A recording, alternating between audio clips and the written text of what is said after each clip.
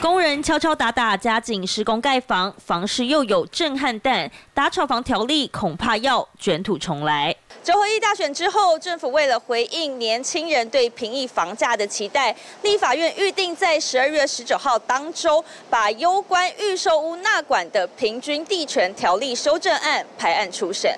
若届时内政委员无法取得共识，民进党团还要变更议程，把它抽出来表决，拼在明年一月十三号收会前三读通过，被视为是硬要闯关。对市场的这个交易量呢，会有比较大的一个影响。央行这个选择性信用管制之后呢，推案的这个力道呢，明显都比较薄弱。那么在议价能力上面呢，也不如大型建商具有优势，可能会出现这种零星个案率先降价。若是平均地权条例修法通过，过度干涉市场之下，价格难以走跌。第一个受害的还是没买房的年轻人。再来，对于建商而言，这几年高涨的建筑成本已经是压力山大，如此恐怕更加不利销售。不止中小型建商面临倒闭潮，也不利都更和老屋改建，反而形成建商输、年轻人输、都更输的三输局面。整个建筑业呢？现面临到缺工、缺料，再加上资金的断裂，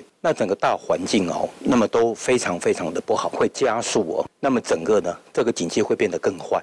现在多数买家都属于刚性的自住需求，炒房客早都已经退场，过度干预恐怕难以让房市更健康。东森财经新闻，柯黄明、叶子金，台北报道。看盘不中断，赶快来按赞。十四小时股市直播来喽！快点扫 Q R code 加入，让我们来陪着你们看盘。最及时的盘中资讯，最权威的投资分析，满满一整天盘后交战，都在东森财经二十四小时股市直播。